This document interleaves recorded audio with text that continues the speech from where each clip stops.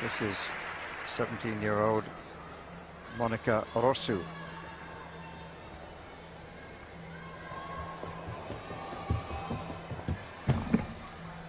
Excellent lift. Double twisting straight. Turns on, snaps, two twists, lands cleanly. Now, she's been the most successful in converting height and marrying that with twisting in rotation. Super vaulting, high and clean from Rosu. Second vault for Rosu. And she's kept the more difficult vault for second, and she's done it with great aplomb. Huge lift and rotation. Look how she lifts herself into the air, wraps in the two and a half twists. It's marked out of 10.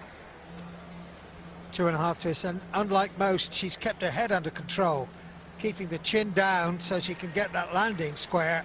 Just a little foot there on the line, but forgive her that for vaulting of that standard.